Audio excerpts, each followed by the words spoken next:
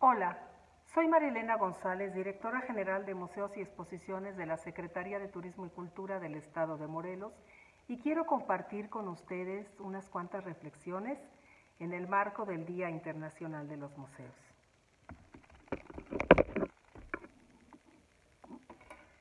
Los museos son centros culturales y turísticos, espacios de resguardo del patrimonio cultural Forman parte de un proyecto epistemológico nacido en la modernidad que hoy por hoy complementa la enseñanza escolar, ya que nuestro modelo pedagógico dominante equipara aprender con investigar. Por otro lado, los museos que compiten con parques temáticos y ferias ofrecen también la posibilidad del goce de la cultura y por ello forman parte importantísima de la llamada economía naranja y la sinergia indispensable para las empresas dedicadas al turismo. Hoy, ante la pandemia que nos aqueja, nuestros museos se enfrentan el reto de tener que reinventarse por la llamada nueva realidad dictada por las exigencias sanitarias impuestas para todos los espacios públicos. De marzo para acá cerraron sus puertas 90% de los museos del mundo. Se recomienda y hasta se prohíbe la reunión de la gente.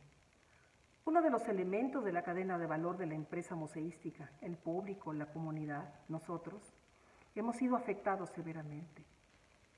No cabe duda de que una de las tareas de los departamentos curatoriales será pensar la naturaleza desde la óptica de las grandes crisis, porque no solo el COVID-19 ha afectado recientemente a estas instituciones. Recordemos los sismos del 17 que ya habían hecho lo propio. Estoy segura de que le tocará al arte, esencia y motivo de la mayoría de los montajes de los museos, abordar el impacto del virus en la vida como la conocemos. Existe asimismo el reto de superar la falta de suficiencia presupuestaria para la operación mínima y el montaje de las exposiciones. Hay que recordar que se nos ha recortado más del 50% del presupuesto. Ante esta situación es urgente la protección de los acervos. Sin embargo, no hay que olvidar que quien lo hace posible es el capital humano. Es indispensable que la gente de museos conserve su trabajo. Ya en todo el mundo hay planes de salvaguardia desde la perspectiva de la resiliencia y la recuperación de los empleos. Será necesario un plan de manejo para cada institución, que no solo aborde el aspecto sanitario, sino que incluya acudir a fondos de cooperación internacional. No debemos olvidar que la cultura forma parte de los planes de desarrollo sostenible de muchas ciudades.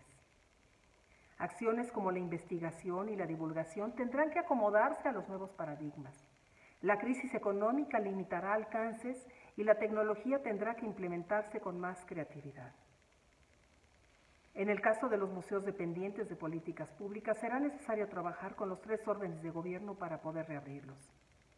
Dadas las reasignaciones presupuestales para los sectores más, vulnerados, será necesario el apoyo de las comunidades y el trabajo transversal con la iniciativa privada.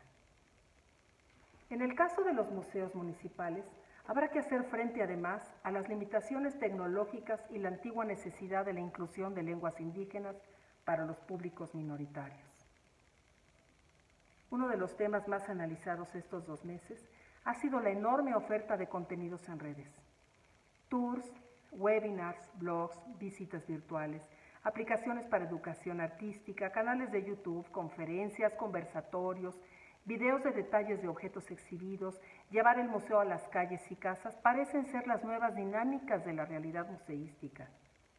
Sin embargo, como también se ha publicado en textos especializados, la experiencia digital no sustituye la experiencia analógica. Se trata de otra cosa totalmente diferente. Lo virtual informa al visitante qué es lo que va a ver, a qué se va a enfrentar. Pero la visita al museo es totalmente insustituible. Hablando de otras cosas, acaso, y como también se ha dicho recientemente, sean asuntos del patrimonio cultural inmaterial, como las recetas y técnicas culinarias, los que se han recuperado durante el confinamiento. Esto hablando de patrimonio cultural intangible. Se dice que los paradigmas cambiarán. Los montajes en los que se comparten herramientas, la oferta de eventos culturales, el esparcimiento en los jardines y las llamadas activaciones que se derivan de las muestras, tendrán que obedecer a las nuevas reglas de convivencia sana. En el caso de Morelos, los museos históricos adscritos a la Secretaría de Turismo y Cultura actualizarán el antiguo reto de presentar la historia del zapatismo y la Revolución Mexicana, obedeciendo una óptica incluyente y crítica, así como la presencia del Segundo Imperio Mexicano sin maniqueísmos. Asimismo, hay una tendencia muy fuerte en la museística actual de recuperar narrativas sociales que no han sido mostradas por los museos tradicionales. Es de nuestro interés incluir estas historias que tienen que ver con el olvido de las sangres y las culturas ausentes.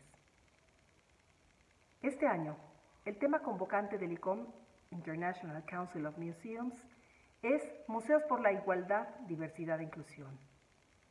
Es de notar nuestra voluntad, ya que somos miembros ICOM en el Jardín Borda, eh, nuestra voluntad de mostrar exposiciones cuyo contenido incluye públicos infantiles, débiles visuales y narrativas con perspectiva de género.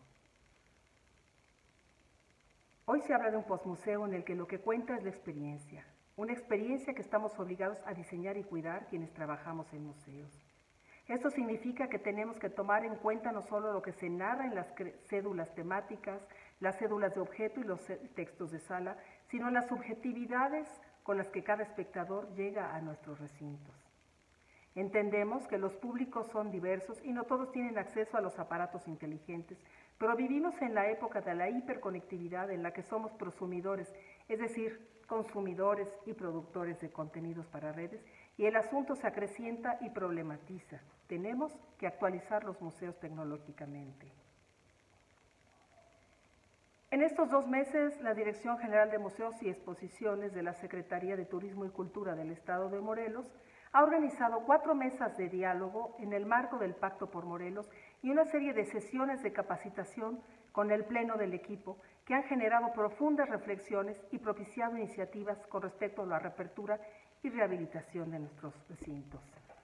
En el marco del Día Internacional de los Museos, el día de hoy mostraremos distintas perspectivas del trabajo museístico actual en el Estado, así como los retos a los que debemos enfrentarnos debido a la situación inédita en que nos ha colocado la pandemia del COVID-19. Ustedes escucharán los comentarios de cuatro directores de museos morelenses. Seguramente serán de su interés.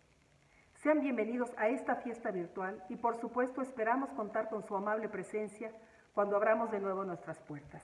Muchas gracias.